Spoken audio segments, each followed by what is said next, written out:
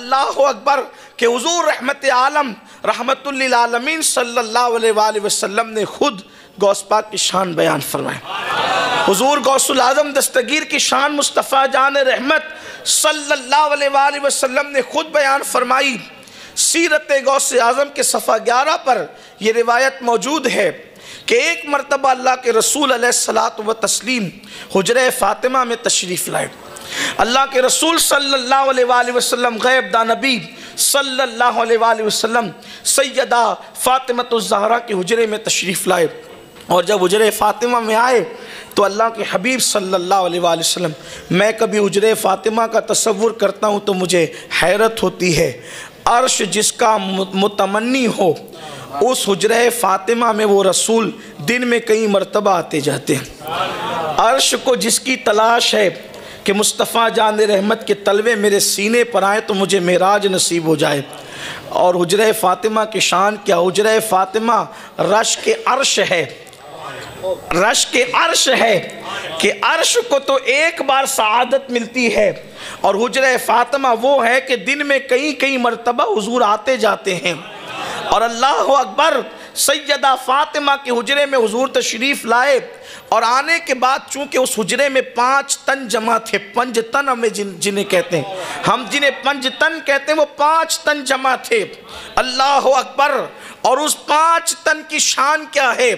अल्लाह अल्लाह, अगर फैले तो कायनात बनती है। और सिमटे तो पंजतन बनते हैं। इसीलिए बेदम शाह वारसी कहते हैं, बेदम यही तो पाँच है। मकसूद कायनात, बेदम यही तो पाँच है। मकसूद कायनात खैरुन्निसा हुसैन और हसन, मुस्तफ़ा अली।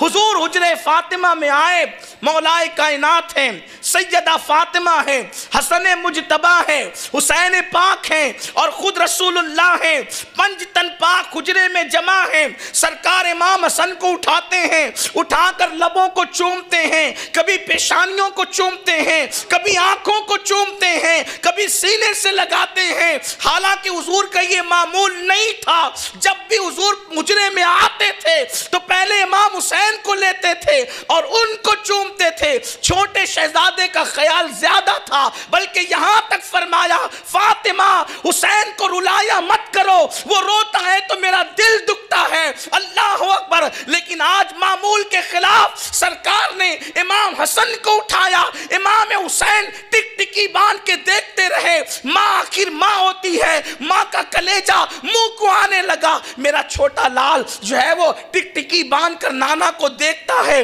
और आज खिलाफ मामूल सारी तवज्जे हसन मुजतबा की तरफ़ है।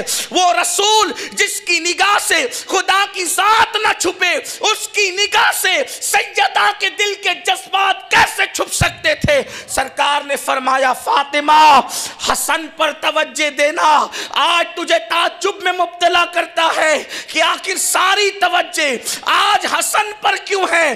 फरमाते, वजह यह है कि जिबरील आए औलाद में अइम्मा और इमाम पैदा होंगे।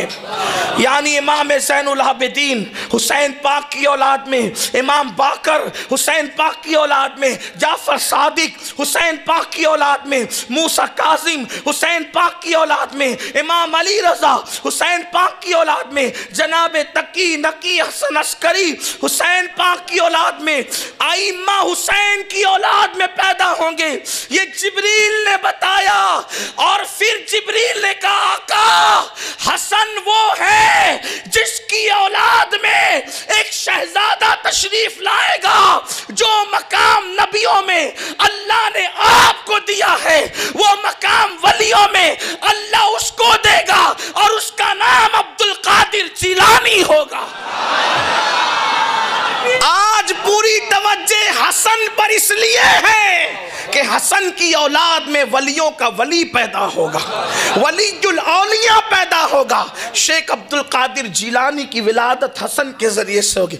आप अंदाज़ा करें, जिसकी आमद से 500 साल पहले हुजूर हुजर फातिमा में जिसका ज़िक्र करे, वो हमारे पीर गौस पाक है। हम कादरियों को अल्लाह ने कैसा नसीब दिया कि वली दिया तो वलियों का वली दिया।